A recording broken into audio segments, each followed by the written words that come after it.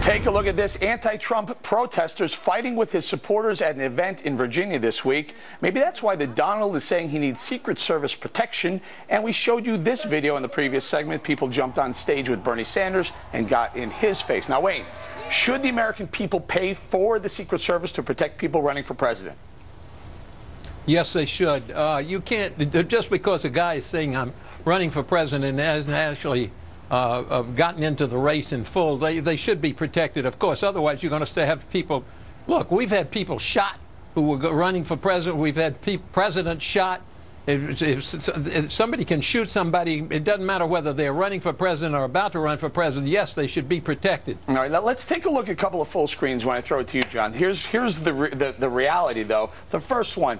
This these are a couple of candidates over the last three cycles. Look, 256 days before the election, John Kerry had Secret Service protection. Barack Obama, 551 days before the election, and Mitt Romney down there, 278 days. Now, give me that next full screen. Here's why it kind of matters: $40,000 per candidate per day. John, we're talking tens of millions of dollars.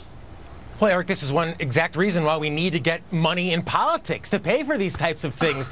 and frankly, and I think when it comes to, to Trump, I think this really exemplifies what I consider to be cronyism. He, he's so rich, he's so rich, but no, no, no, the taxpayer should pay for his security. I mean, if he's self-funding his campaign, why doesn't he pay for his security? Well, I, don't well, think but any John, candidate... But, if he, he does, does, should everyone have to pay for that? And frankly, there are some people think, with zero bank I think account.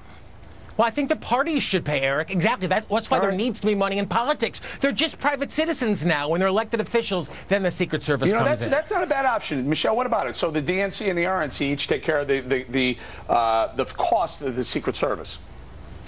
I can get on board with that, but I think that taxpayers ought to pay if it's the front runner and there's a direct threat to the person's life. And the, the argument that Trump was making is that he said that maybe this is sort of partisan politics, that he has not been offered Secret Service protection. The Department of Homeland Security said, well, he hasn't put in a formal request yet, so that's why we haven't given it to him.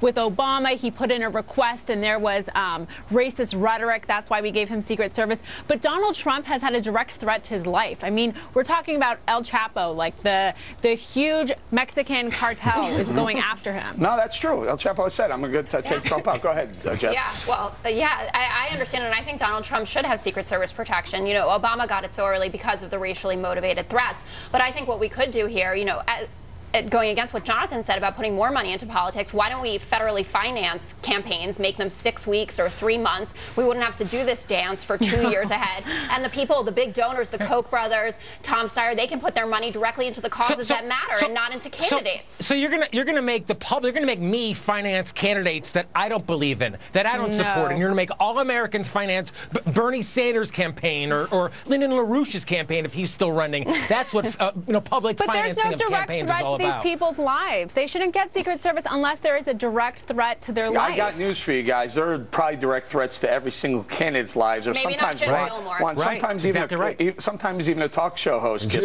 Yeah, yeah. I was about to say, sometimes I feel pretty lonely walking the streets.